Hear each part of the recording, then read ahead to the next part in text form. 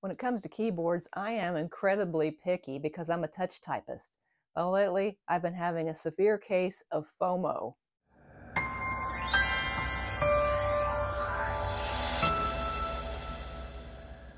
For the last few years, I was using the Logitech MX Keys keyboard, this full size one, and loved it.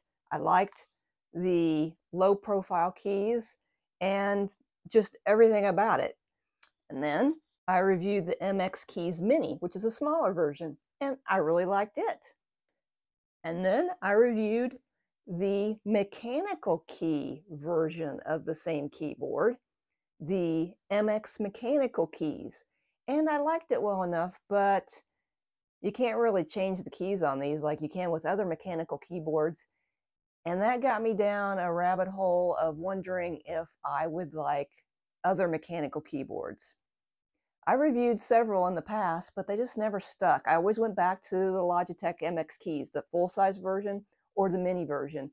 But lately, I've decided that it's time to branch out and I've been getting more serious about mechanical keyboards. So today, I wanted to give you a quick preview of the latest mechanical keyboard that is on my desk.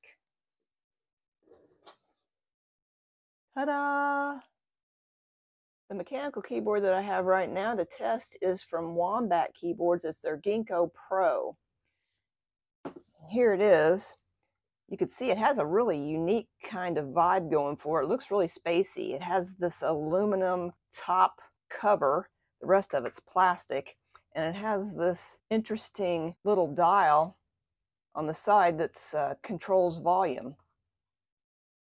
You can use it as battery powered, uh, as a wireless keyboard, or you can also connect it with uh, a cable, and that's the way I have it right now. I got this keyboard with brown switches. Let me take off one of the keycaps here so I can show you.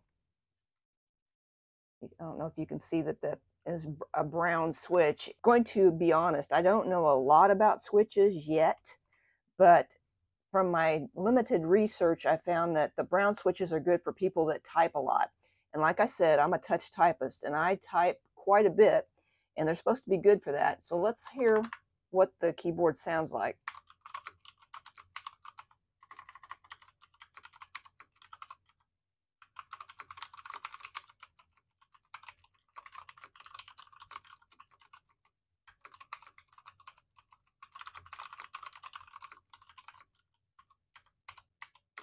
That was a quick look of the Wombat Keyboards Ginkgo Pro mechanical keyboard. I just hooked it up yesterday, so I don't have a lot of feedback about it yet.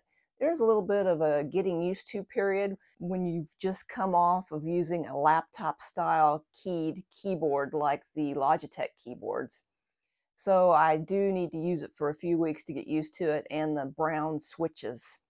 So I'll have a full review on the Gadgeteer soon. Thanks for watching, and if you like this kind of uh, video, please give me a thumbs up, consider subscribing, and I hope you have a great day.